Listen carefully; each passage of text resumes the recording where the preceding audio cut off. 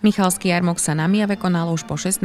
krát. Jeho súčasťou boli vystúpenia, výstavy a všetko, čo by takémuto typu podujatia nemalo chýbať.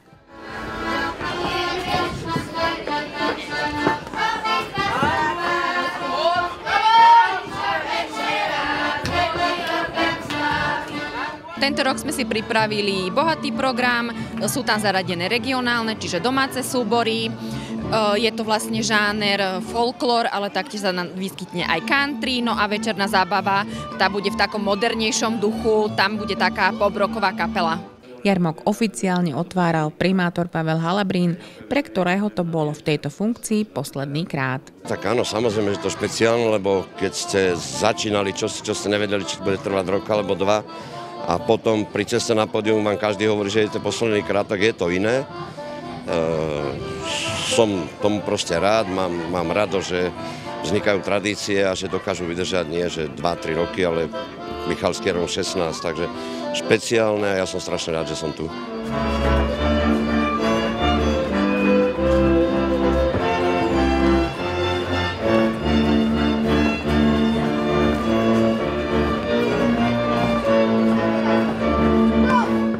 Súčasťou jarmoku je už tradične aj chovateľská výstava a taktiež aj fotofest, ktorého vlastne tento rok je už 6. ročník a ľudia si ju vlastne môžu pozrieť alebo aj zasúťažiť si v nej pri kultúrnom dome. Vystavuje na výstave momentálne 14 autorov so 60 fotografiami z rôznych žánrov samozrejme. Autory sú tu na zo širšieho okolia, motívy dajme tomu, že sú tu príroda, zátišia, portréty, makro.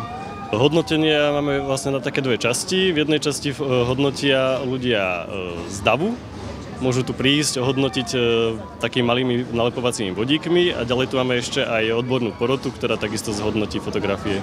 Zvierat je tu 537 a vystavovateľov je 75. Ocenované boli len holuby, hydina a králiky. Exoty boli len doplnková expozícia Vystavujeme tu slovenské národné plemená, vyšlachtené na Slovensku a súčasťou tejto výstavy sú teda aj ostatné zvieratá chované v našom regióne. Cieľom každej výstavy je, že chovatelia prezentujú prácu svoju celoročnú, kde teda vystavujú svoje ušlachtilé zvieratka pre radosť, krásu a užitok.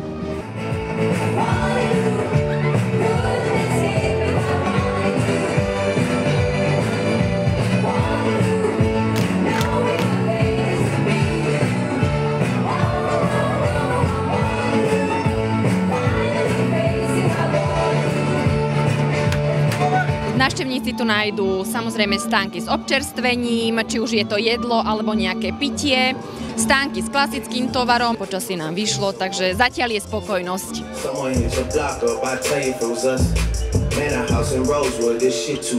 Samozrejme dodám aj pikantné, hej, ale budete šiplová potom trošku.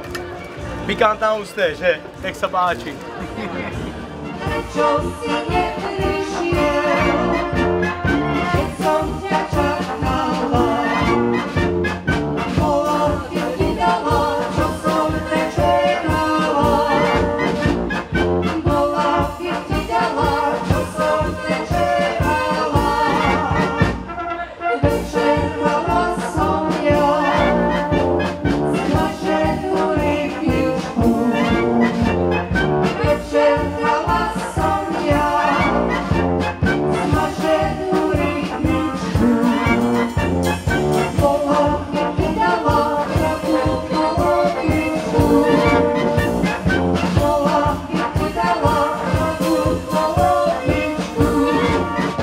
Slivkové gule si návštevníci mohli zakúpiť v stánku, no ak mal na ne niekto naozaj veľkú chuť, stačilo sa prihlásiť do tradičných kopaničiarských majstrovstiev.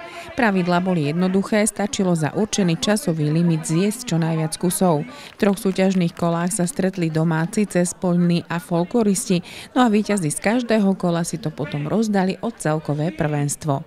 3, 2, 1, ideš! Llame, llame, llame, llame, llame, llame.